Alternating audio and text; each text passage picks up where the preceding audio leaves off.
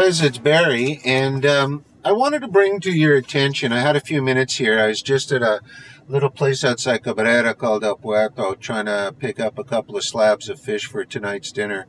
I wanted to bring to your uh, attention uh, another article that I received yesterday from a subscriber that uh, forwarded me the article and said, I get it, I see what you're talking about, and it's true.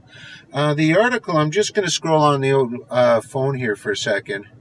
Uh, the, uh, the article's entitled uh, 25 Must Know Skills for Surviving The Coming Nightmare When Something Extremely Horrible Happens. And basic information about it, but um, you know, nothing really out of the ordinary to learn. But the point is, the subscriber said you're absolutely right. There's just yourself and a couple other people talking about um, plan Bs that include an exit strategy. You see, this is uh, another excellent example of what I refer to as linear thinking.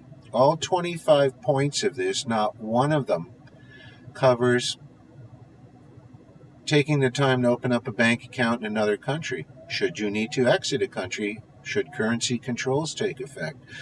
Not one point of these 25 basic points covers the need of everybody needing a second, at least residency, uh, preferably a passport, as an exit strategy. Uh, most disturbing of all, the article doesn't cover anything about a plan B that entails a exit strategy.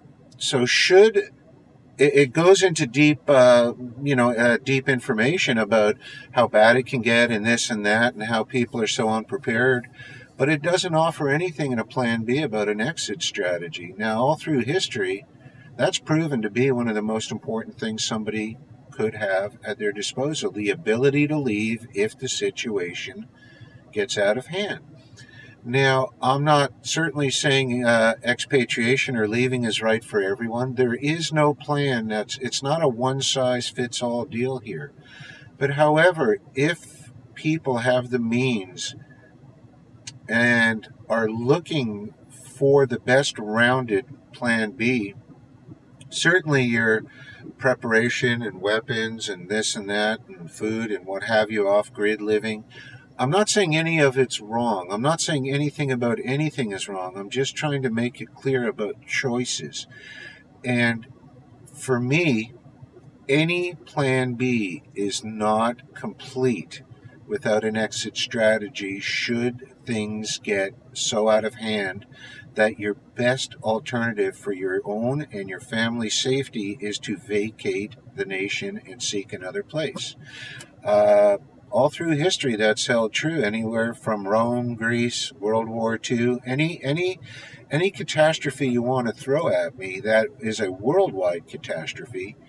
Um, I think you'd have to be rather close-minded to debate the issue about uh, expatriation or leaving a nation to seek better living in another uh, nation to weather out the storm shouldn't be part of a plan B. And it, it brings me back to what I'm trying to explain.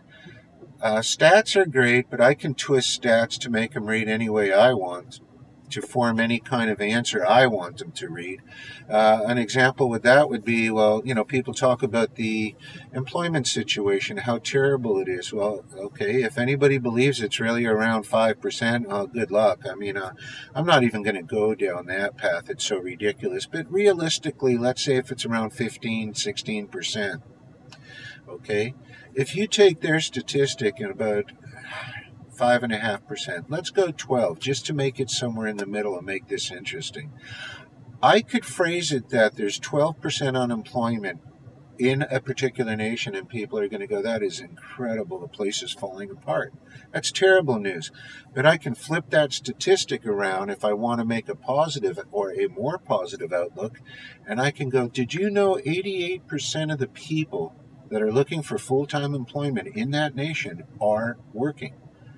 That sounds completely different than 12% unemployment.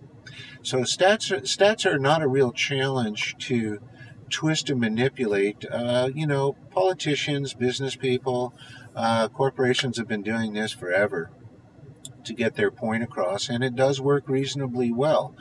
But the point I want to bring out, and I'll be making a post about this in the near future, is people don't ask the right question.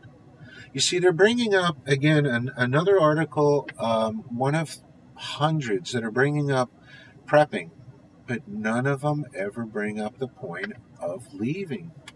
Now, uh, a lot of our subscribers uh, over in Europe right now, where they're facing riots that are running uh, uh in the hundreds of thousands daily, because of their immigration issues along with their economy issues, um, a lot of those people are really second guessing their decision, and a lot of them now have really stepped up to the plate at this late time to start immigration process, and they are looking at. But it's already it's already started. Now it becomes instead of a process where you're in control, it becomes a reaction instead of a proactive. It becomes reactive, and that's not a good place to put yourself another point, uh, getting back to people don't ask the right questions. When uh, I get an awful lot of uh, emails asking about the best way to prep and, and, and so on and so forth, and Old Barry's not an expert in anything. I've been out of Western nations for about 35 years. So I'm not the person for advice to tell you how to survive in America or Europe.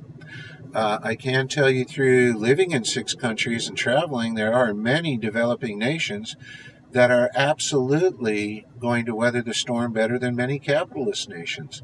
Uh, basically, from uh, without getting into detail, we will on the articles, but you can't take away something from someone that they never had to begin with. And you might want to keep that in mind when people start mentioning about crazy uh, riots in, uh, or, or uh, for our example, where Haiti, uh, oh God, if it gets bad.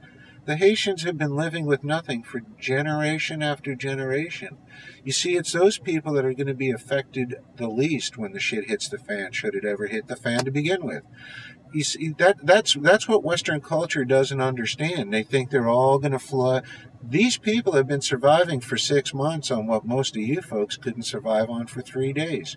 So who do you think would be affected more? Somebody with five thousand luxuries, and ninety percent of them are taken away, or somebody with basically no luxuries and survival, the, the very basics but yet nothing really hiccups because they're living off the land anyway.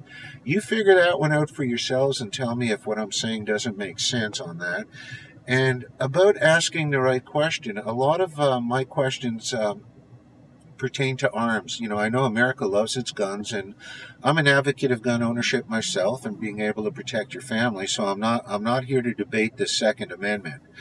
Uh, I am totally pro owning guns. But but here's something what I mean by asking the correct question. I'm receiving the wrong question, which is what do you think I need for arming myself to best protect my family? Okay, understand the question totally. The the question really should be what is the percentage of the population that's currently prepared to withstand six months of surviving? And um, that's where you're going to find this thing dwindles down to less than 1%.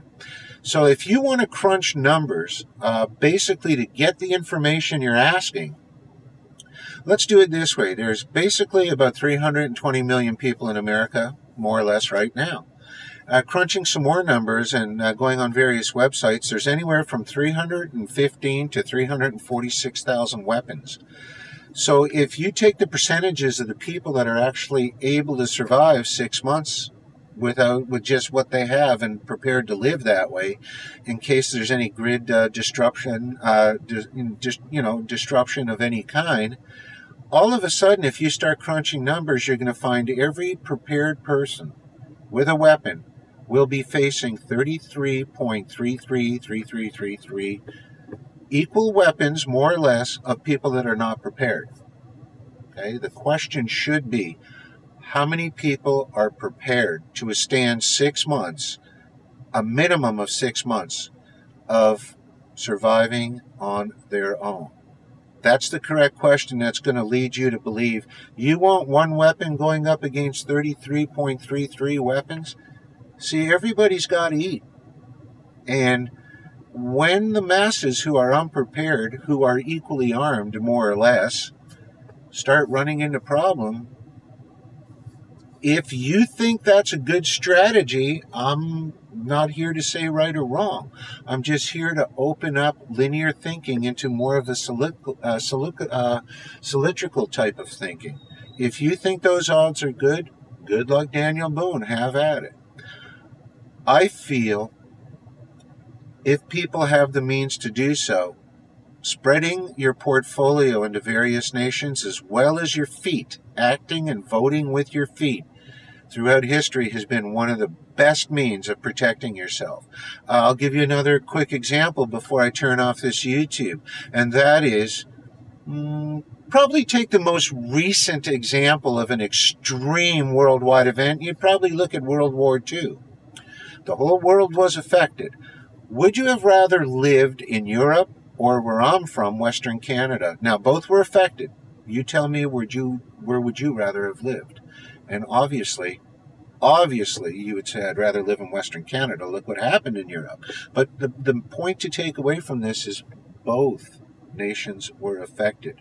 So the correct question again you should be asking yourself is not will I be affected, but rather to what degree will I be affected? That's where you're going to find many capitalist nations are going to be affected the most. This world is a giant transmission, and for the time being, for the limited time anyway, while America might be the planetary gear for a little while longer, you have to understand everything is linked. And I've always judged the transmission, is it going to blow or not, like I do when I wrench on my old truck. If the transmission fluid, if the temp gauge hits the fluid, I use the fluid as the citizens. When the citizens start to get hot, that transmission's going to blow.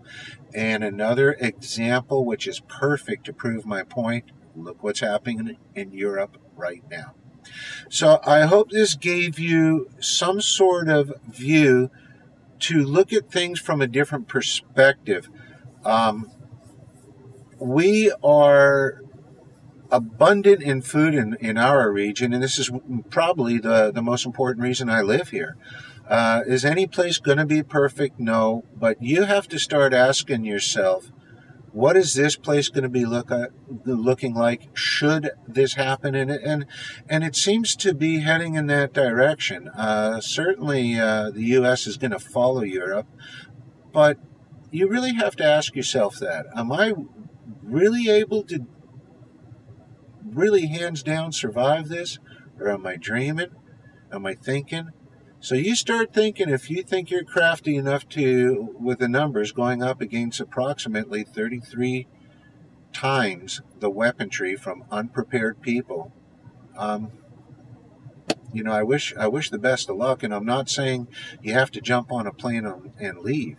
I'm saying if the option is there, that gives you a more well-rounded, structured plan B.